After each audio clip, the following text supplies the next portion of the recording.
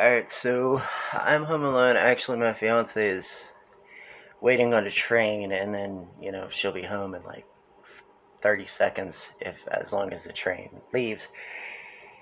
But I've been home for about three hours, four hours by myself, and I just got done working out a little bit, and while I was working out, I started hearing like it almost sounded like somebody was calling my name.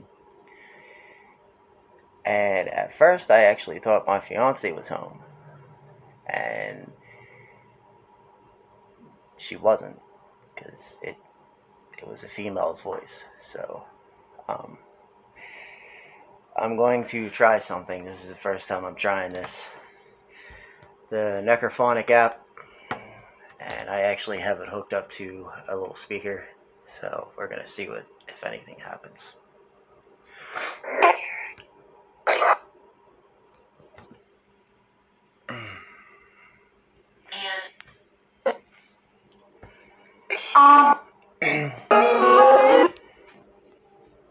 Is there a female here that called my name a little bit ago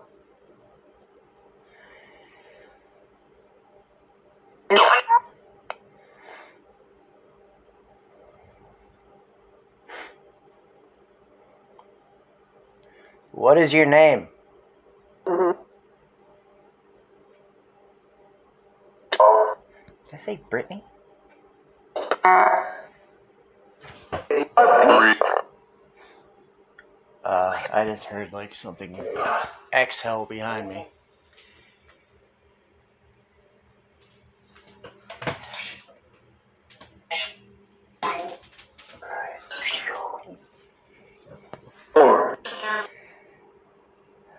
What is your name?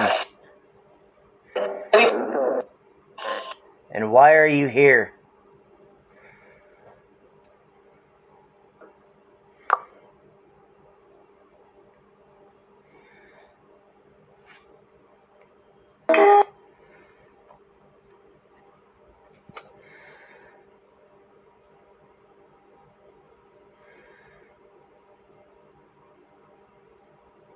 Uh,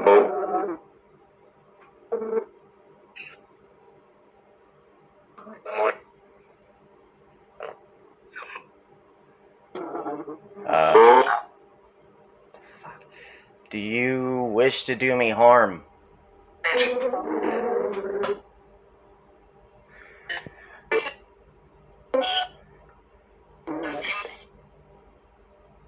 That's the only problem about these apps. I haven't. I, I can't understand a damn thing they're saying. Like I cannot understand like uh, ghost apps or uh, uh, spirit boxes.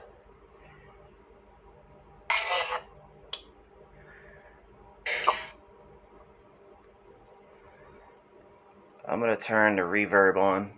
Or no, I'm gonna turn white noise on because you can do that on this.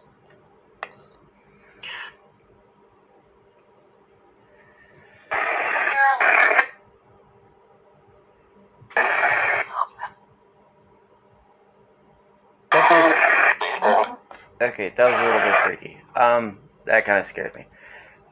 I'm gonna stop it right there for a second. Actually, my fiance's home. Uh, it sounded like it said boa, like boa constrictor as a snake. My nickname, whenever I was, you know, uh, since I was a baby from, you know, my family, is boa. Now, the story behind that, when I was younger, I had a hearing problem. And every time they would say, well, What's your name, Joe? And I would say Boa for some reason, and it just stuck.